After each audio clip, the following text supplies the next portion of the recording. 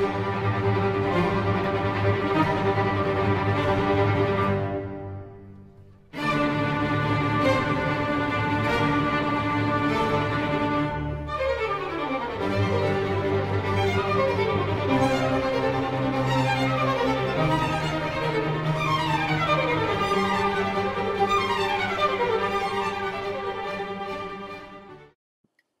use the shoulder rock basically before every workout. But uh, here I was running a little late, so it was uh, deadlift day, and I needed to do my goblet squats as well as part of my pre-workout routine. And I figured I'd just mix the two together.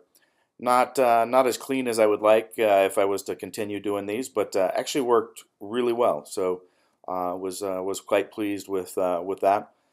Love the shoulder rock too, just for the benefits of the effects of it, but it also gets the blood flowing and gets you prepared to train, and uh, always a good thing. So this week is the first week of diet, and uh, I'm going to be dieting for quite a while. Really working on uh, trying to lean myself back up. I've been bulking pretty hard the last uh, year, year and a half, so going to change things up. And weight's coming off really fast, but you really can't tell from the weights I was moving this week, so that's that's a good thing. Uh, this is uh, 455. I'm messing around with some changes in my setup, and I, you know, I wasn't feeling particularly strong after doing a bunch of rows on uh, on Saturday, which you can see in last week's training log, and coming off the meet plus the weight loss, all that combined. But uh, the setup felt really good, so I went ahead and went with 495. You know, this is the first time I've ever pressed it. It shouldn't look that easy the first time. I think I could have been good for 4, 520, but uh, thought I'd save it not sure if that's a good idea since my weight's probably going to be going down over the next six weeks as I diet. But uh, anyway, jumped into doing some rep work after this. Uh, so four or five for a bunch of reps, and then uh, some weighted dips, um, shoulder presses, and uh, and some tricep uh, overhead tricep extensions. All that's viewable on my log. Someone asked me how much tension was on the front and the back band on these, so I did post that. Um, so I weigh those with my uh, band tension measurement device. And uh, the rear one was 50 pounds pulling back on my hips, and the front one uh, that I've got to drive back against was 40 pounds. You'll notice all these are over under versus the typical strap work that I've been doing. My arm's feeling better. All the grip work that I've been doing definitely is paying off because here we've got 660 in the bar uh, for a set of seven. And uh, it wasn't until I went for the eighth rep that uh, I had a failure. Sitting on the walker, drinking Johnnie Walker.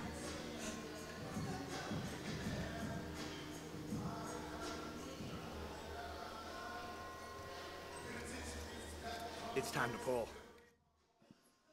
If you've never seen the Walker video on my channel, you definitely should check it out for the comedy's sake but they do get some use, mostly for sitting on like I was doing.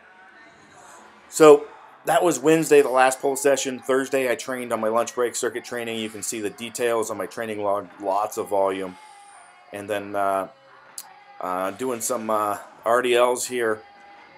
One of the blocks is lower than the other. I didn't notice till the end of the workout. Definitely why things felt a little off for me. Uh, so worked up to 600 there, 600-ish, uh, over, under, no straps, and then uh, bump the weight heavier for one last set with straps. Again, you can see those uh, blocks kind of throwing me off. Um, didn't notice till I sat down at the end. But uh, this was a, this was a solid set, 705 for, for several reps. Uh, definitely nailing the hamstrings and glutes good. So this is Saturday. Um, basically, uh, this is my, my, my pulling strategy right now is doing these on uh, my deadlift day and then on my squat day I'm uh, I'm doing the the band resisted at the hips, and then on Thursdays I'm doing basically all my quad work, adductor work, stuff that uh, would normally be affected in my squats, uh, on top of the two deadlift days. this day is also so the prior day is a little bit more focused on uh, uh, some of that other stuff, and then uh, I focus more on lats and upper back. So doing some rowing. I didn't have a lot of time because my son's birthday was this day and I need to get home. So I didn't do uh, um, the heavy bent over rows just because the uh, so much downtime between sets with how tired it, uh, fatigued it makes me. So hit these and some rear delt flies. Again, you can check out everything on my log on Elite FTS. I do a full written log up there. Uh, so check it out. Also, don't forget to check out my website. Subscribe to uh, my YouTube channel if you haven't already. And make sure to let others know about it uh, as well. Get the information out there, trying to help people